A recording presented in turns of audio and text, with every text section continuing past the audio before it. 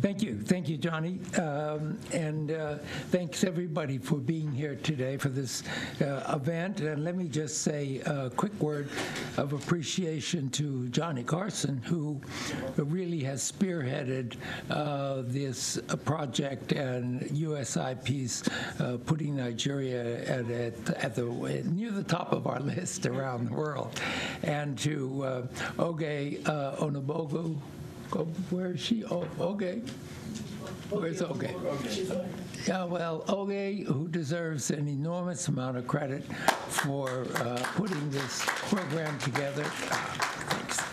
And uh, well, I would say put the meat on the bones of this project by working tirelessly uh, to, to bring it together. So thank you both, and thanks everybody who's been participating. This panel, uh, which we renamed, if you have an old program, you don't have the right title. Uh, the, this uh, panel is now titled Good Governance, Justice, Democracy, or Economic Opportunity, or must it be all three? And, I, and, and we want to pick up on uh, the excellent discussion in the first panel, where people talked about what makes societies more or less resilient. Um, there was a discussion of exclusion uh, and and and widespread inequality. There was talk of uh, the need for people to have voice, to have a voice in decision making. We're going to in this panel we're going to try and focus on what are the responsibilities of good governance, and what we've all agreed upon is that we're going to stay away from platitudes. We're going to try and delve down into what do we mean by good governance. Do we mean justice? Do we mean democracy? Do we need development? What is most important? And in particular, what are we saying to people in office, and governors in particular in northern Nigeria, but elsewhere, when everybody says to them, good governance is important, what is it that they should do most? And what is in their power to do? So, with that background, let me introduce uh, this really fine panel. Um, we have uh, Professor Attahiru Muhammadu Jega. Uh, Professor Jega is, I think, known to, to uh, uh should be known by now to everyone, um, was leader of the um, Independent Nigerian Electoral Commission for the election of 2015. He has a long, distinguished history uh, as an academic, particularly associated with Bayero University, where he is today uh, professor of political science. He has taken his experience and expertise around the world. Most recently, he's been to Ghana. Three times, he tells me, to Kenya in relationship to the recent elections there. A, um, a, real, uh, a real outstanding combination of scholar and activist. And I've asked him to start dealing with the political aspects of good governance. What do we mean by that in terms of justice or democracy or elections? And then next will be Kingsley Moghalu. Uh, Kingsley is a, an extraordinarily prolific uh, scholar uh, writes continuously and speaks. His book, Emerging Africa, which I would recommend, is really an outstanding assessment of the meaning of governance, particularly with regard to development, but in the broadest sense of the word. Uh, Kingsley was the deputy governor of the central bank in Nigeria. He was very recently named by UNCTAD uh, to the intergovernmental group of experts on the financing of development. Uh, and he has uh, uh, uh, a number of distinguishing, uh, distinguished connections to Fletcher and other academic institutions.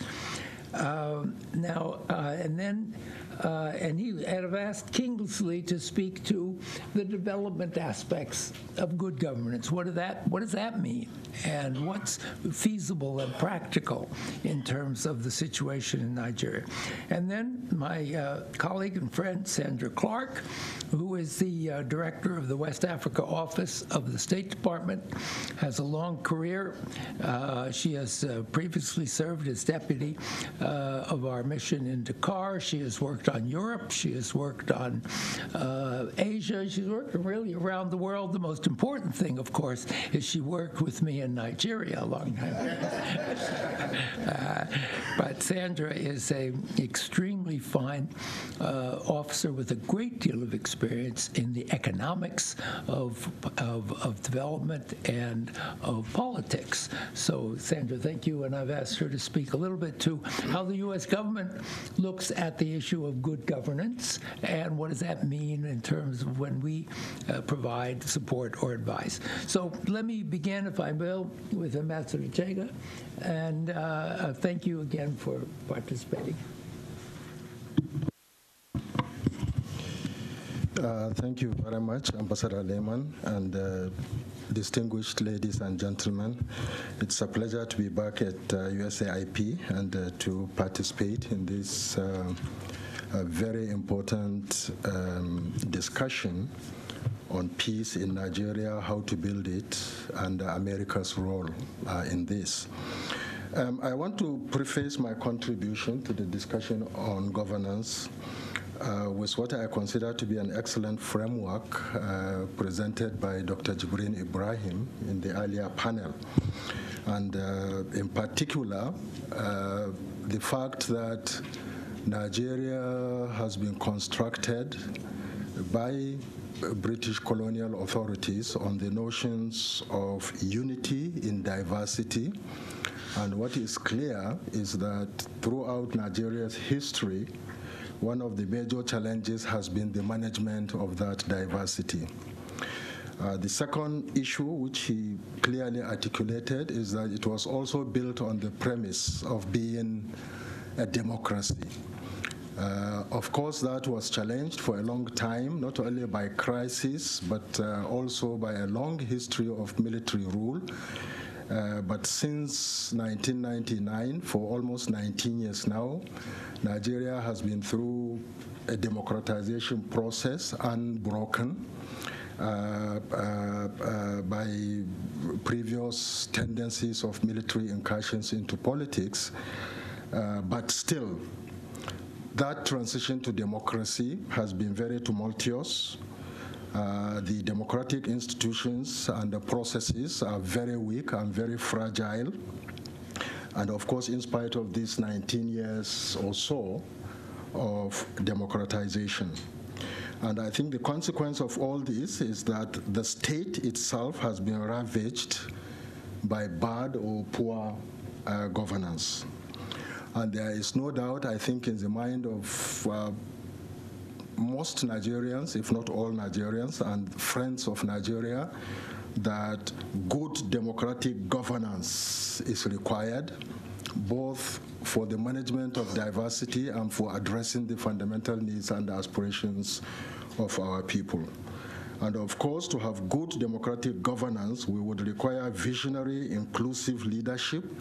We would also require strong institutions for deepening democracy, for managing diversity, and of course, for demanding transparency and accountability of leadership, of government, and of institutions uh, of governance. So I think the key question, uh, as uh, uh, framed by Ambassador Lyman, is then what is good governance and how do we understand it in the context of Nigeria and in the management of violent conflicts uh, and for building peace. Uh, obviously, good governance is one of those con uh, concepts that are quite uh, opaque. Uh, but to me, I think whatever else good governance can be said to mean, I believe that first and foremost, it is about an elected leadership that competently and judiciously harnesses societal resources and utilizes these through governmental institutions to equitably address and satisfy what I call the fundamental needs and aspirations of citizens. So, uh, to satisfy these fundamental needs and aspirations of citizens, obviously, uh, it means that we have to go back to the basics. And uh, interrogate the question of what is the fundamental role of the state in terms of satisfying the fundamental needs and aspirations of the people. And I think those of us who are familiar with the theories and discussions on the role of the state, uh, particularly in the liberal democratic context, know that one of the key roles of the state is protecting lives and properties of citizens. Secondly, it is regulating a broad range of relationships within the framework of the rule of law. And thirdly, and uh, also most importantly, is what I call provisioning of public services to address collective human needs, whether in the areas of education or health or social welfare services, or even in policing in addressing the issue of security of lives and property. So hence, I, I, believe that good governance is both about, and coming back to the key question, I think with this uh, definition, good governance is both about democracy, about justice and equity, and also about economic development. Um, poor or bad governance, I believe, is when political leadership is characterized by lack of competence, by lack of capacity and efficiency in harnessing societal resources through governmental institutions to address those fundamental needs and aspirations of the people. So I think the challenge in countries with deficit in governance, and certainly with a country like Nigeria, uh, is associated with uh, at least three uh, uh things. One is how to nurture and deepen democracy, its and its institutions. And this is very, very important, whether in the management of diversity or in harnessing resources to meet the needs and aspirations of the people. The second uh, uh, area has to do with how to reform governmental institutions for competence and capacity with responsibility and responsiveness in addressing those needs uh, uh, uh of the people. And uh, the third uh, uh, uh area uh, relates to how to strengthen the rule of law and the role of the uh, adjudicative and regulatory institutions, such as the judiciary and so on, and other agencies of government. And uh, in a country such as Nigeria, I think all these uh, issues come to prominence. And uh, if we uh, talk about the need for good governance, and that's why I've qualified it good democratic governance, because I think in discussion of good governance, we tend to forget that there was a time in history when authoritarian regimes in Southeast Asia were models, you know, uh, because you can provide development and provide needs of the people, but without inclusion and the participation in the uh, uh, uh process.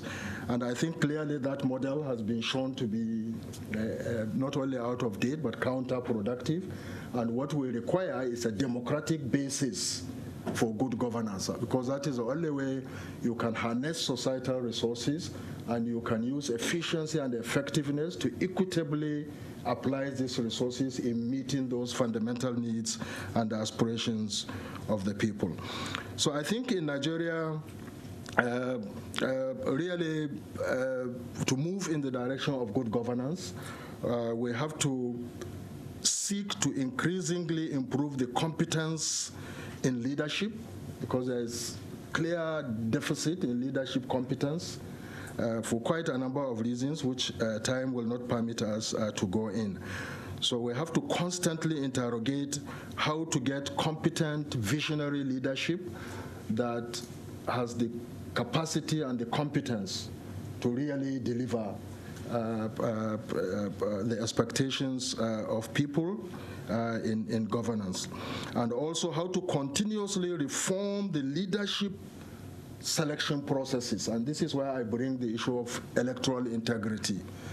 Uh, I think, uh, uh, obviously, the electoral process in many uh, uh, countries that are in transition to democracy uh, uh, uh, have somehow lacked that capacity to help the selection process in bringing about this visionary, competent, and effective leadership. And I, unfortunately, I think for a long time also, uh, many uh, uh, theorists of electoral democracy have tended to assume that once you have regular periodic elections, then that is good for democracy and not considering the fact that it is not elections per se that are really important, but the integrity of the conduct of elections. Because otherwise, you won't get what is required in terms of the delivery of good governance and all of the positive things that come with it. So I believe that really in the Nigerian context, we have to pay attention to that. Uh, I think uh, in the last uh, few years, we've been able to break the cycle of very bad conduct of elections, uh, not only by the consensus that has emerged within Nigeria among stakeholders for the significance of having credible elections, but also with the support of the international community. You know, and so we've come some way, but the challenges are still there. And I think the greatest challenge is how do we ensure that there is not a reversal to the old tendency of bad conduct of elections? And how can we keep on improving upon what we've already been able to achieve? And how do we continue to address the still mounting challenges in terms of a sustainable process of credible elections? So, so really for me, uh, uh, this is a very, very important issue for our desire for good governance in our country, for good leadership, and for addressing, managing diversity and also uh, addressing issues of violence, uh, com violent conflicts and uh, for peace uh, in our country. Uh, uh, the other issue, you know, apart from focusing on electoral integrity, and it's an issue again that Dr. Jibrin Ibrahim raised in his contribution, police sector reform. I think uh, you cannot protect lives and properties in a country like Nigeria with the kind of policing arrangement that we have. You know, when clearly the police is ineffective, is inefficient, is riddled by all sorts of challenges, and we have to continue to rely on the military to do policing duty, and their own actions and preparations and training further complicate matters in terms of violation of rights and, and uh, you know, uh, feeding uh, into the questions of uh, ethnicity and religion and other identities. So I think this is an area that uh, for long uh, requires fundamental tackling, but which for a long time we haven't been addressing. I think security sector reform generally, but addressing policing is fundamental to the Nigerian state being able to discharge that role of protecting lives and property and ensuring compliance with the rule of law. Protecting citizens, you know, uh, to discharge their obligations and to also enjoy their rights and duties uh, as citizens. And if you don't have an effective policing, you cannot protect, you cannot uh, enforce laws, and you cannot also create that environment that is required for the expression of rights and the defense uh, of these rights. Uh, and uh, um, uh, obviously, uh, restoration of increasing equity and justice in the governance process is important. So obviously a focus also on justice uh, reforms, uh, the judicial process for adjudication, for uh, uh, enforcing regulatory frameworks uh, is also very important. I think specifically one can say that Nigeria has come a long way in electoral reforms, but there are still formidable challenges. And the striving for electoral integrity has to be sustained and strengthened, especially as everybody has uh, been talking about, we approach the 2019 uh, general elections. And we also have to uh, address uh, these issues of institutional strengthening, you know, uh, that can help the process of uh, having uh, good democratic governance in our country. Thank you very much. Professor, thank you very much. You've raised a number of, of, of really important concepts that I know we're going to come back and discuss more. Kingsley, can I turn to you, please? Thanks. Yeah. Thank you. Thank you very much, uh, Princeton. Um, uh, and, and, Johnny, uh, thank you for, for this conference. Thank you for the invitation. Um, I'd like to, uh, before I um, make my remarks, also to just recognize and um, express my respects to His Eminence, uh, Cardinal uh, John Onaiyekan, and uh, the Sultan of Sokoto, um, Saad, uh, represented by um, Dr. Usman Bugaje. Um, let me say that what I want to say here is really not addressed to the government or to our political leaders. I want to say a few things, some of which will be explosive, um, and I want to address them to the Nigerian people. Therefore, the memo is to the people. The memo is no longer to the government because the government uh, or our governments, I think, have shown um, that uh, they do not have the capacity to take Nigeria to the next level. We come to these meetings and we celebrate the fact that Nigeria is still standing, that we're still one country, that we're still existing. We defied the predictions of US intelligence analysts that in 2015 Nigeria will go bust. And we're happy. And we think we're making progress. After 57 years of independence, and this is the kind of discussion we're still having, we should be ashamed of ourselves and that includes those who have supposedly been leading us and those of us who, have, who are the led. We should be ashamed of ourselves because we haven't done what we should do. Power in any democracy belongs to the people. Therefore, the real challenge that Nigerians and Nigerian citizens have now is to exercise their power and exercise that power to bring about the type of leadership in Nigeria that can take Nigeria into the future. The leadership we have now simply is not wired to achieve that aspiration. Why is this so? The process that produces Nigeria's political leaders is a process that is not based on competence. It is not a process that is based on vision. If there's any vision, I need, I'd love to hear it. It's not a process that shows an understanding of what leadership actually means. As Professor Jega has said, there's need for real leadership to have vision. There's need for leadership to be able to inspire and mobilize citizens to a desired future state. There's, there's need for a leader to be able to organize citizens. That's the organizing principle, to be able to actually achieve concrete goals. All of that is absent. So, what we have is a process that's based on ethnicity, it's based on religion, based on vested interests, and every cycle they come to power to perpetuate their misrule. So, uh, let me make a few comments about the economy. 57 years after independence, our GDP per capita is 1,600 and something dollars. This is Nigeria, supposedly the biggest country in Africa. So we need, first of all, to bring about a new leadership class in Nigeria.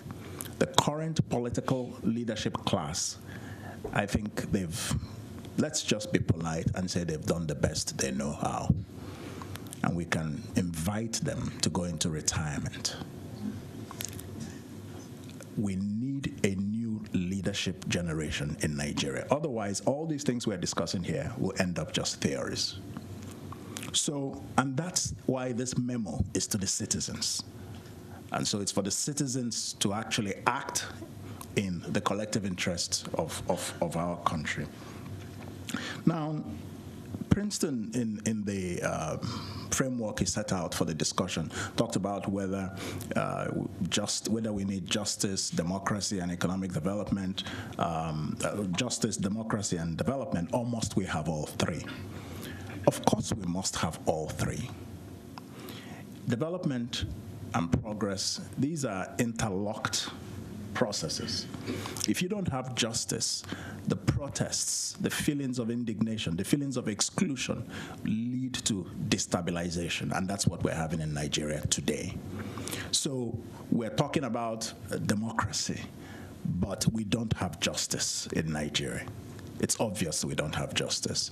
And so that's why the country is very tense. There are lots of separatist agitations and people are feeding into these agitations simply because they've given up hope that there can ever be justice. That's what's feeding the agitations. It's not, there's nothing else. It's, it's the absence of justice.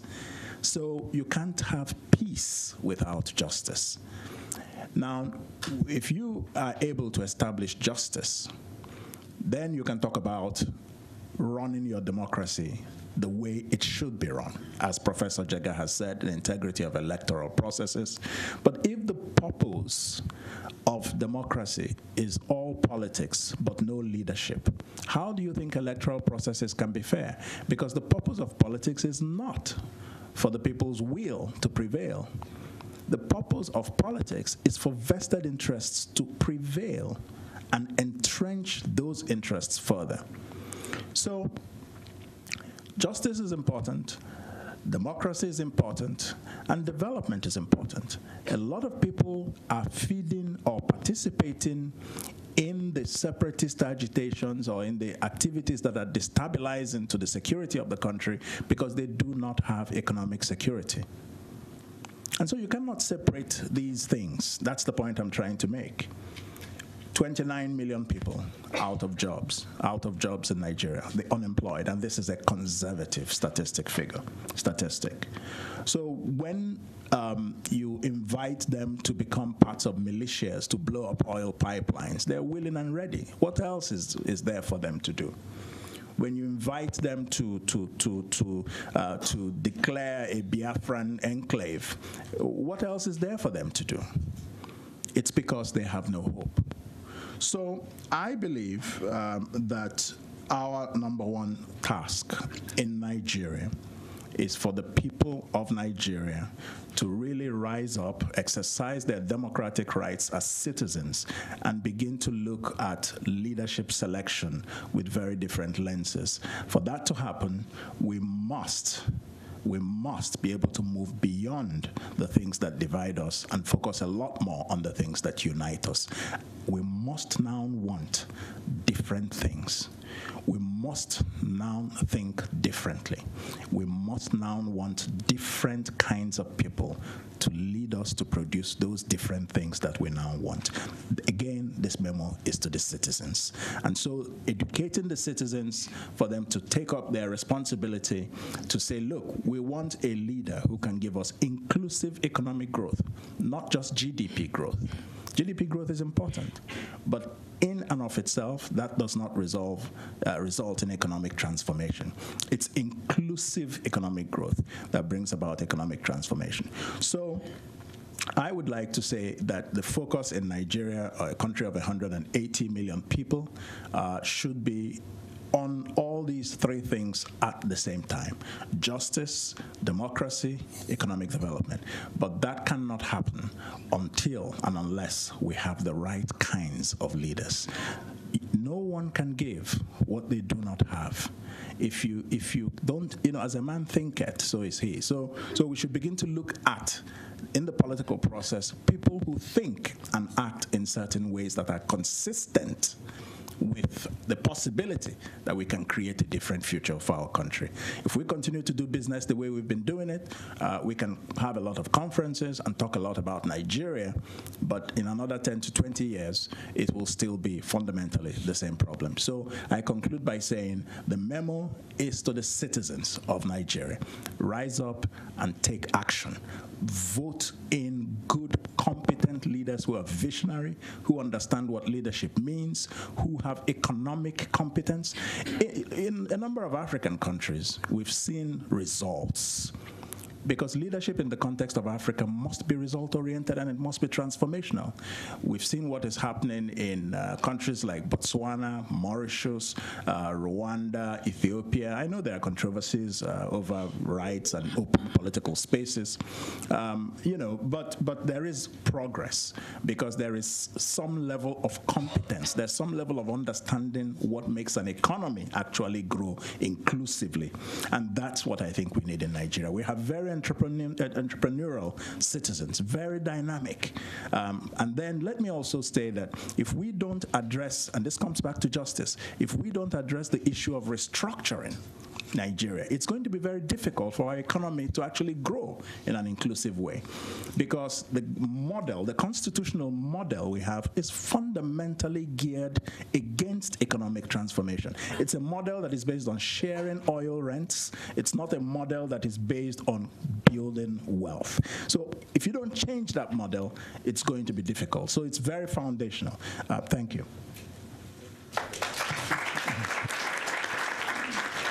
Kingsley, thank you. As always, you're provocative and raising some very fundamental issues. Thank you.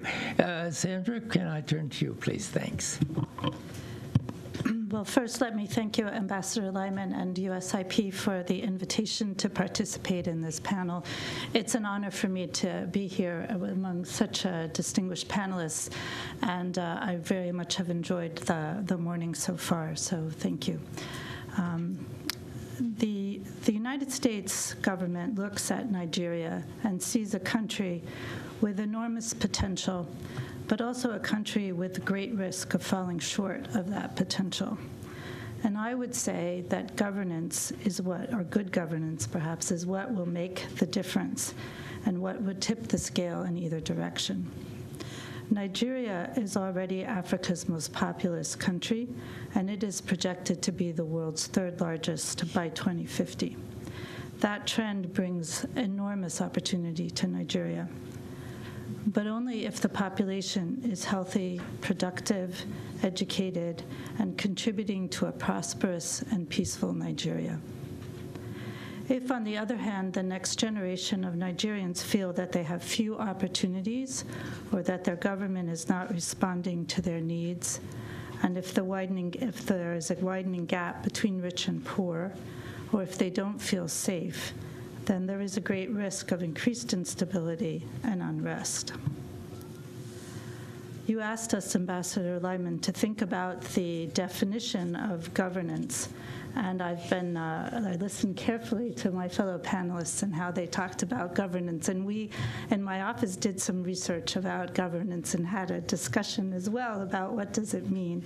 And I think um, the, what definition should we use for governance? I think at its, my personal view, is at its core, governance is about the relationship between citizens and their elected officials and, and government. And so I see good governance as institutions that are and are perceived as acting fairly and effectively to respond to the needs of the population. The State Department and the U.S. Agency for International Development, we see our job in this context as supporting Nigerian led efforts to build more effective, accountable institutions that are responsive to the Nigerian people and to help Nigerians build the institutional capacity needed to support this highly this educated and healthy and productive population. The United States invests about half a billion dollars a year in foreign assistance, which is one of our largest bilateral program, assistance programs in sub-Saharan Africa. As Undersecretary Shannon said earlier this morning, the free and fair 2015 election was a turning point in America's relationship with Nigeria, and it is critical that Nigeria build on that momentum as the country heads into state elections and then the general elections in 2019. As we have in the past, the United States is ready to support free and fair and peaceful elections to expand current technical assistance for elections institutions and civil society organizations, and to use our convening power to foster stronger collective engagement in support of a transparent, inclusive electoral process. But free and fair elections, uh, they are an important part of democracy and government legitimacy as they give citizens a say in who represents them and an opportunity to, to change. But also important is the effective and fair implementations of the policies between those elections. We hear from Nigerians that the drivers of conflict are poverty and unemployment, corruption, and a sense that they are not being listened to, that they are excluded from the governance systems. And we hear this from Nigerians across Nigeria, from the Northeast to the Middle Belt to the Southeast to the Niger Delta. Good governance is not only essential to Nigeria's future stability, but also to its economic growth. The two are interconnected. Throughout my career, which has been primarily as an economic officer, I've seen how important governance is to businesses and investors. Good governance means predictable economic policies and transparent and well functioning judicial systems. And I think Nigerians know how important go- good governance is for their future prosperity. Polling tells us that Nigerians believe their leaders' top priorities should be improving the economy, creating jobs, and addressing corruption. Security falls behind those three priorities. Nine in 10 Nigerians believe corruption is a serious problem, and, but over 60% are optimistic that that can change. The U.S. works to support Nigeria's economic growth at national and state levels. This includes support to small and medium businesses and also efforts to expand the power sector. We are helping Nigeria, excuse me, recover assets stolen under previous regimes and also building the capacity of civil society organizations that audit government expenditures and demand accountability. So, in conclusion, I'd like to say that we see good governance as fundamental to sustained, sustainable resolution of conflict throughout Nigeria and fundamental to Nigeria's continuing to flourish as a democracy and an economic powerhouse. We see good governance as the factor that will ensure that the Nigeria of 2050 is one that has achieved its full potential. Thank you very much.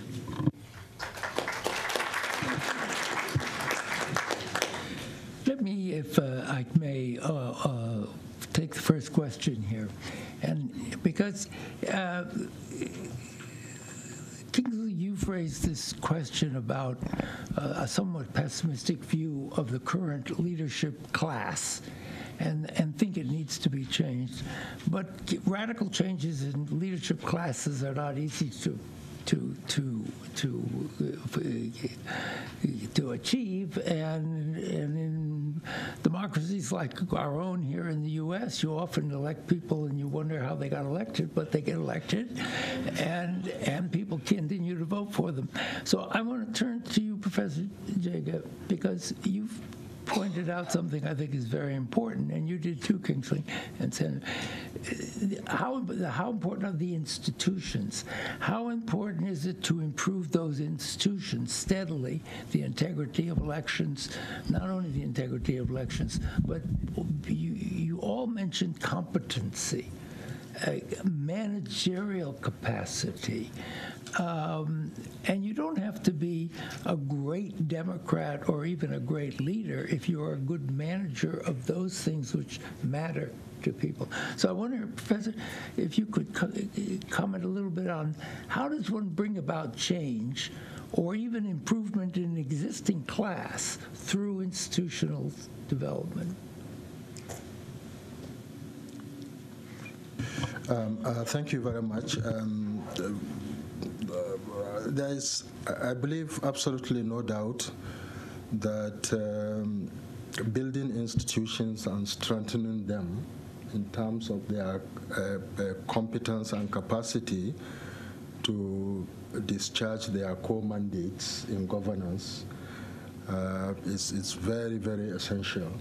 Um, uh, because even if you have leaders uh, with all the good intentions, um, they can't get much done if the institutions are so weak and so fragile and so incompetent and lacking in capacity to drive a process of change. Um, it's not an either or situation, but uh, obviously reforming institutions uh, in fragile democracies, it's one of the most important requirements for sustainability of the democratic transition and also for the emergence of good governance. Um, um, in terms of how to do it, we shouldn't forget that, for example, in the Nigerian context, and this may apply to many other uh, countries, uh, there was a period in time when the recklessness in governance with the support, I regret to say, of some, some um, of the leading global financial institutions has led to the depopulation of the technocratic class, you know, either uh, through voluntary exit and a brain drain, uh, or through the syndrome of if you can't beat them, join them, and by compromising professional competence in the service of mediocratic uh, uh, leadership. You know, and you have a situation in which things have been so bad for so long that the basic professional competence required in a bureaucratic uh, setup really is lacking in many of these countries.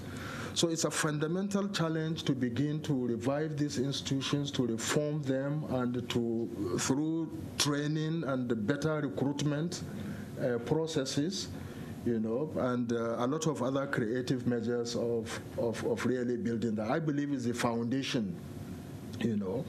Um, reforming this leadership selection process helps because you need that leadership to provide coordination and direction with the vision to move.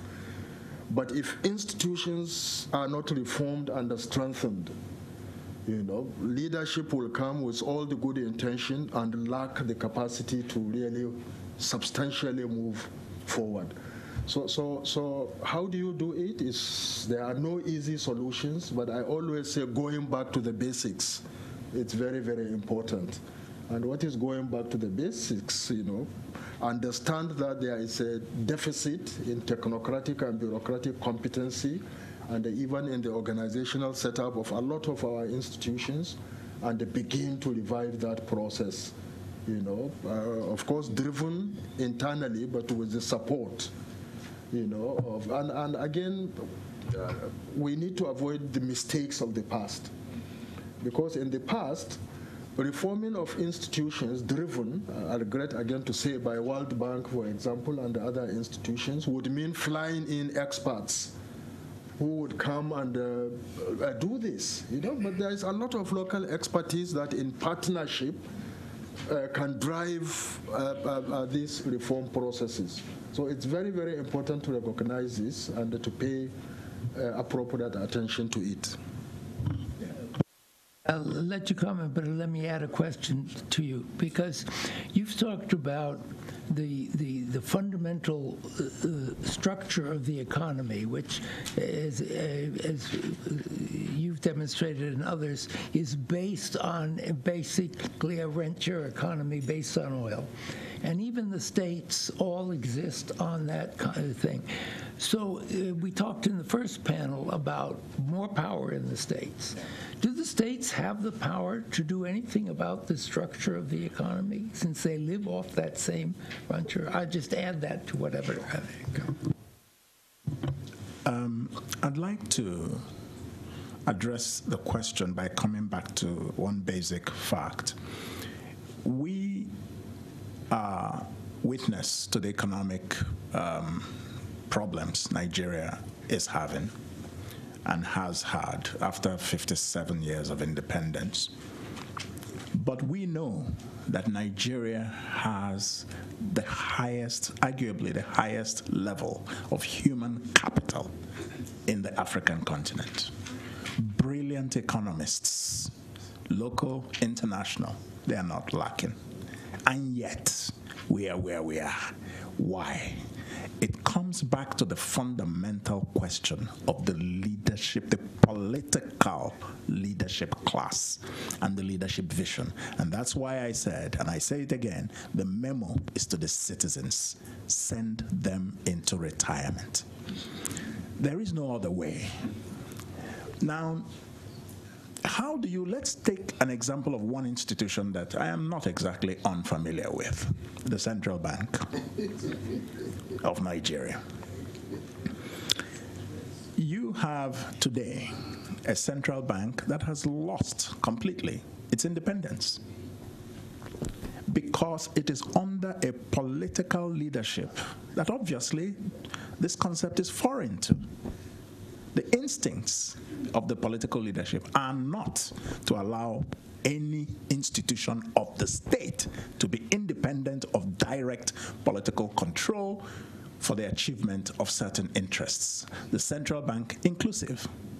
So, a member of the Monetary Policy Committee of the Central Bank has recently written an explosive statement making clear that the central bank is basically piggy banking the government of Nigeria against its own statute. Some of you may have read it. What's happening about this revelation?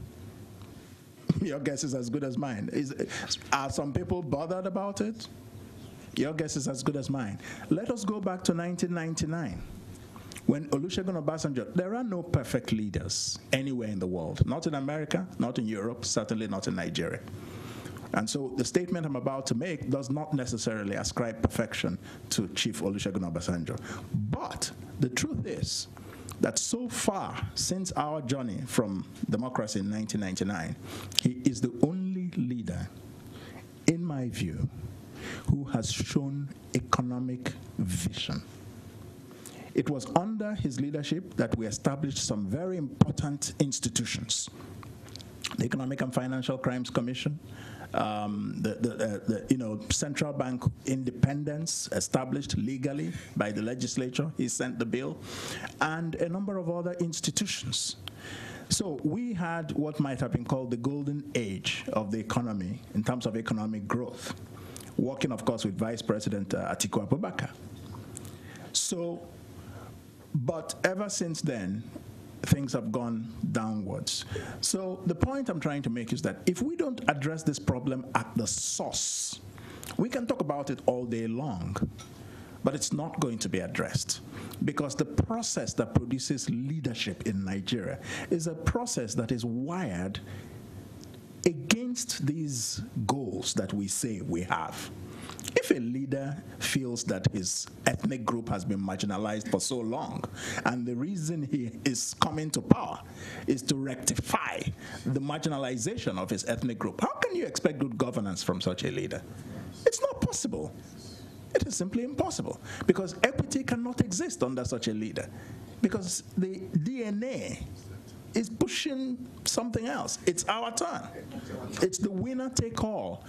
And every ethnic group sees leadership selection in this, in this context. And until we change it and have a leader come up who is pan Nigerian, who has technocratic competence, who has a vision, who has a world view, and knows how to, quote unquote, manufacture the consent of the fissiparous, disparate 389 ethnic nationalities in Nigeria. We cannot move forward. So, to your question, Princeton, can the governors solve the, the, the problem? Without a constitutional amendment, some governors will be able to make progress, perhaps aided by some natural endowments. We know that Lagos has made a lot of progress, even under this this uh, system. But Lagos has some natural factors aiding it, but without good leadership, without competent technocratic leadership, Lagos would still not have been able to make use of its endowments. Again, you may say what you like about uh, Bola Tinubu, the Jagaban, but he began this process and was able to select a leadership succession cycle that has maintained performance in Lagos at a certain level. So at the end of the day, the leadership is everything. And that is why I keep saying the memo is to the citizens. So um, the states, about 30 states out of 36 states in Nigeria today, are not economically viable. They cannot pay salaries. How do you get out of that without restructuring? The strongest argument for restructuring Nigeria is an economic argument. It's not even all the other things, much as they're important. But just to say that Nigeria, under its current constitutional structure, based on a rentier economy based on oil, a commodity of declining strategic significance, cannot rise economically on this model. We must, we must free these federating units, the states and the regions, and I believe in the regional approach because that will give you economies of scale. A lot of the states were created some would say, don't quote me, some would say, well, you know, pressure from girlfriends, pressure from relatives, pressure from friends, and yeah, okay, I'll give you a state. And, you know, so, but the point is that, so, so the current state structure, many of those states are actually not viable. So if you, if you devolve, uh, if you have a constitutional devolution of powers, that could help to some degree. And like uh, I think it was Wisey said, there is some consensus around devolution of powers, but devolution of powers is not restructuring.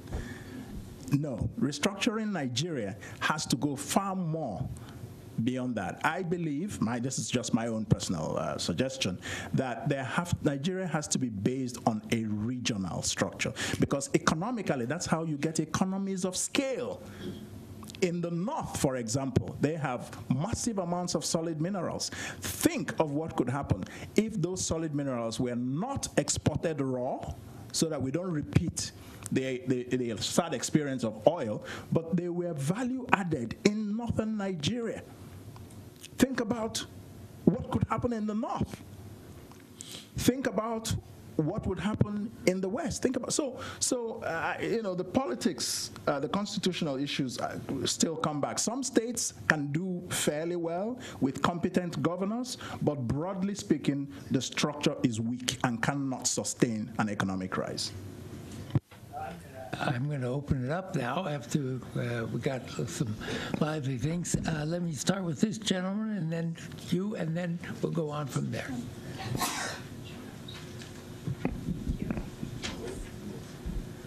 Thank you. My name is Simon Ateba from Simon Ateba News Africa.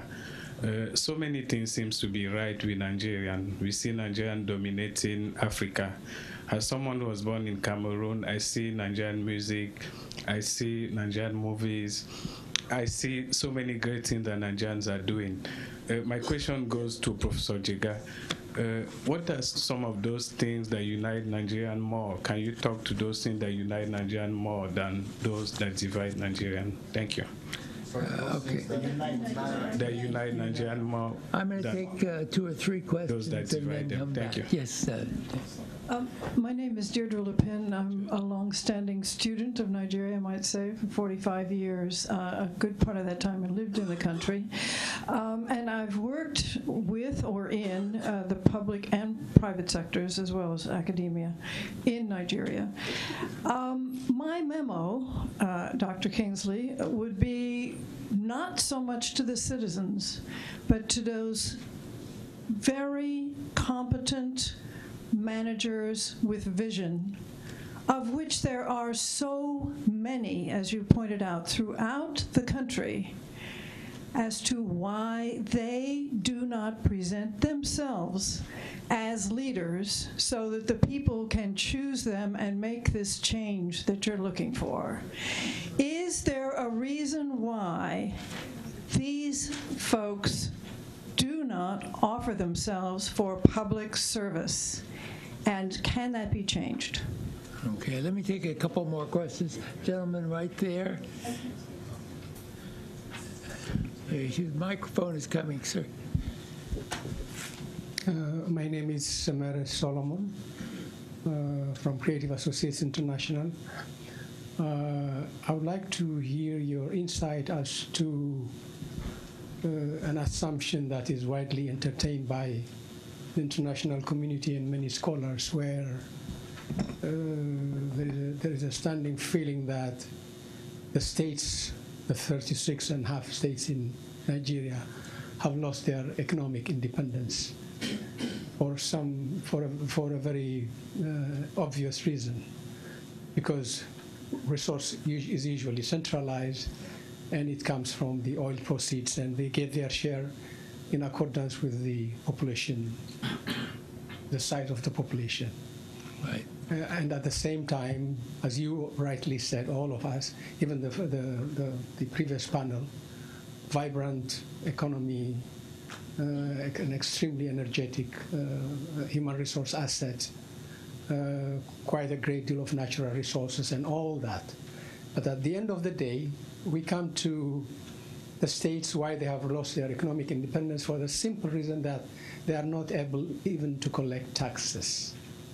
The World Bank statistics indicates that the percentage contribution of revenues or tax revenue to the GDP in Nigeria is only 1%. Compare this with Botswana, 29%. Compare this with Kenya, 23%, Yeah, and many more. point. Well, so, how do we, how, how, how, di- how, how can Nigerian or the, th- the six states regain their economic strength by simply applying one simple tax collection mechanism where they can collect and serve their constituencies, and that's what democracy is all Okay, about. I, I want to get, I want to get on to, to others. Thank you. I think we got the question. Thank you. Thank you. I'm going to let, answer those three, then I'll pick up those two back there, and then we'll probably run out of time. So, Professor Jega, the first question, I think, was to you about what unites Nigeria. Um, regrettably, a lot of the narrative is about what divides Nigeria rather than what unites Nigeria. So it's good to refocus on, on those questions of what unites Nigeria. When the question was posed, my neighbor here quickly said football. and, uh, and, and, and no, no doubt uh, football uh, unites Nigerians, especially when we are uh, competing with Ghana or Cameroon and, and, and, and so on. Uh, but I think on a more serious note, uh, uh, I think what unites Nigeria and that we should all be talking about is the resilience of communities and the energy, boundless energy of our youth across the nation and their aspiration you know, for having opportunities to contribute to the development of their communities and their own countries. And unfortunately, uh, because those opportunities are not created and the, and the efforts are diverted and the youth are frustrated by lack of inclusion, lack of employment, and, and uh, capacity building, then obviously they also lose sight of, of, of the benefit of that focus and they end up in smaller enclaves and some of these passionate discussions uh, uh, about uh, divisions and so on.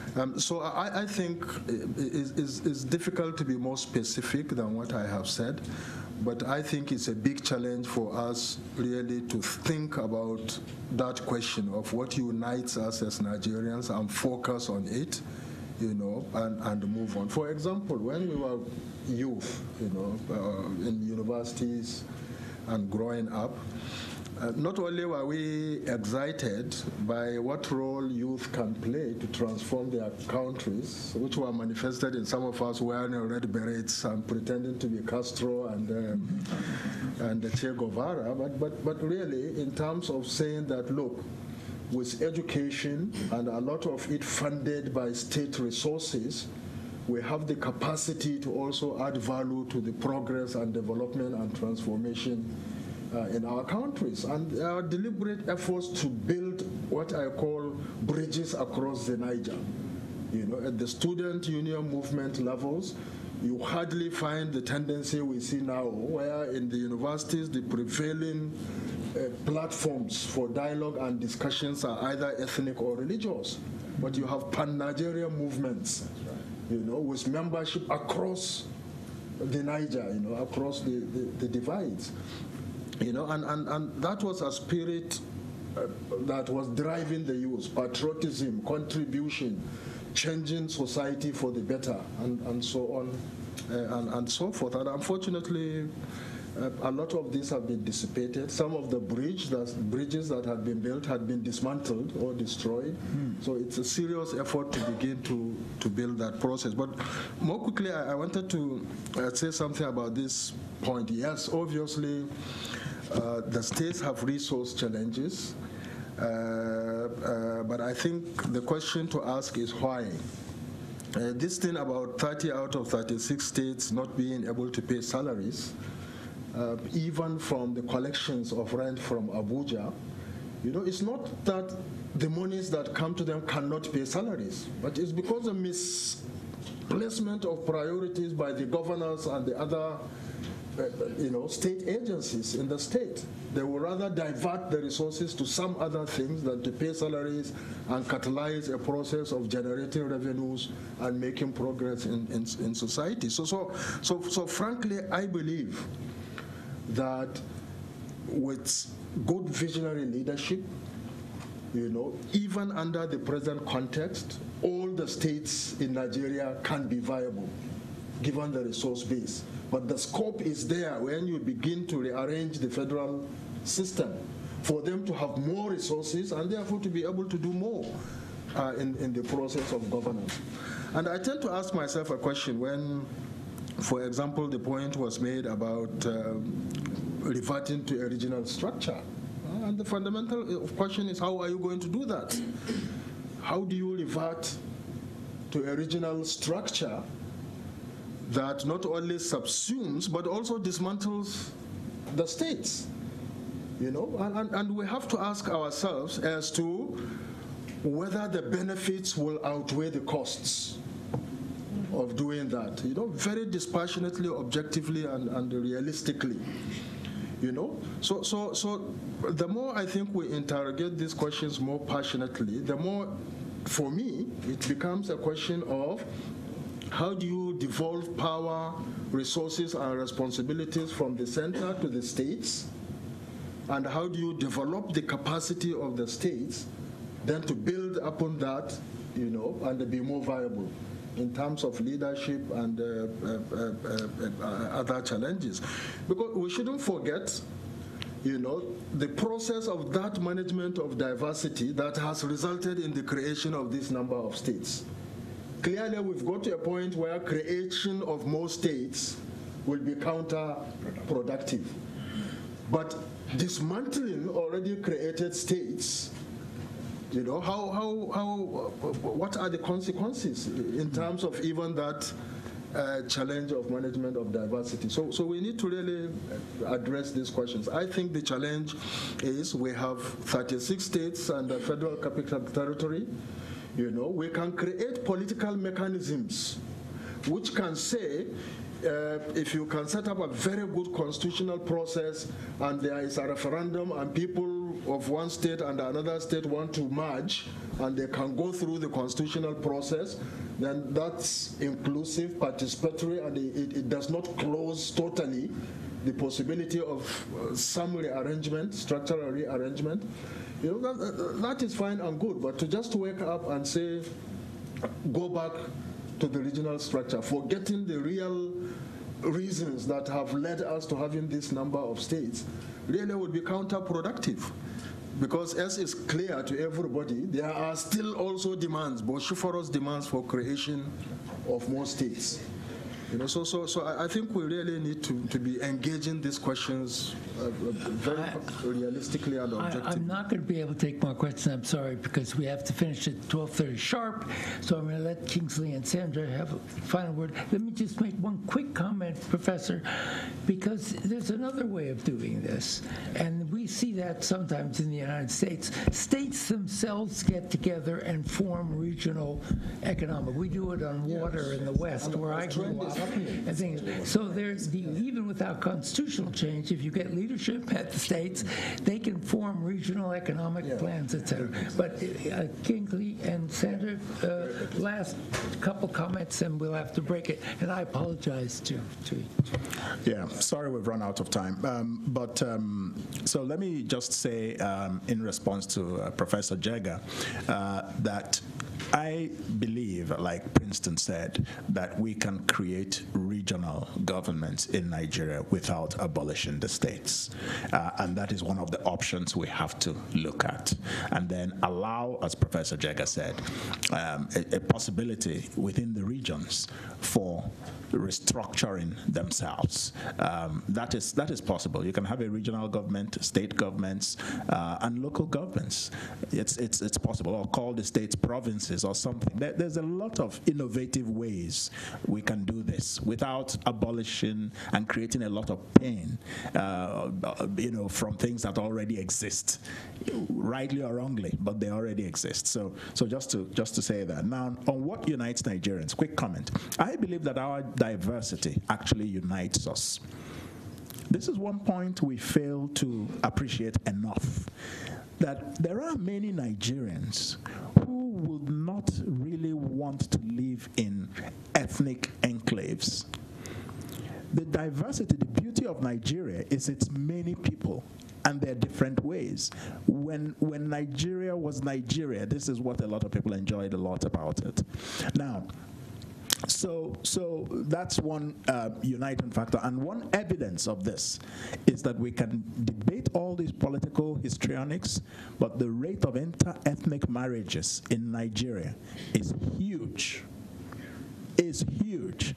So, it, you know, at the political level, it looks as if we're at each other's throats, but our young men and women rather fancy each other. so, isn't that a contradiction? I think it is. So, that's uh, diversity is a uniting is a, is, a, is one of our uniting factors. Plus, of course, soccer. Now, um, to, to answer very quickly, the, yeah, just one minute, the uh, point about why don't um, capable people step out uh, to be counted in terms of I believe that trend is beginning to change.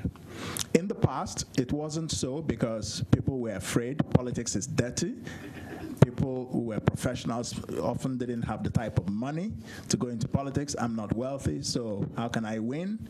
So, but I think a lot of young professional people, we have this bill, uh, this thing now called Not Too Young to Run. So in Nigeria, and I think it's encouraging the youth to step up to, to the leadership plate.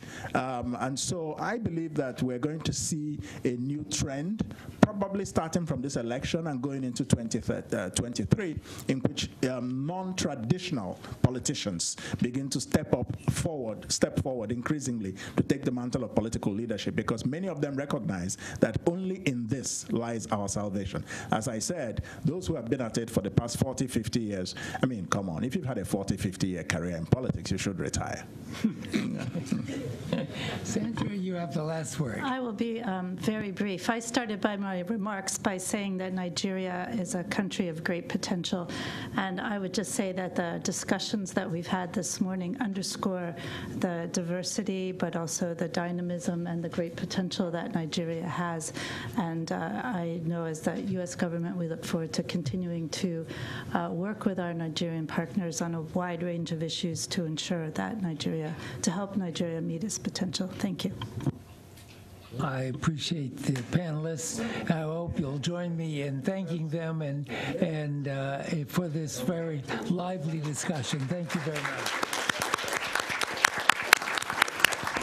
Let me also join Ambassador Lyman in thanking the, the panelists. The one thing that we have seen this morning, aside from a rich, rich uh, uh, discussion with a lot of uh, profound insights, is one of the things that uh, I think one or two of the panelists mentioned, and that is the enormous amount of human capital that exists uh, in Nigeria today. And you've seen it on display in both of the panels in terms of the intellectual depth uh, and the profound understanding that they have not only of the uh, issues around Nigeria, uh, but how those issues interact with global uh, issues as, uh, as, as well. Uh, we too here in the United States could learn a few lessons from some of this discussion. Anyway, thank you all.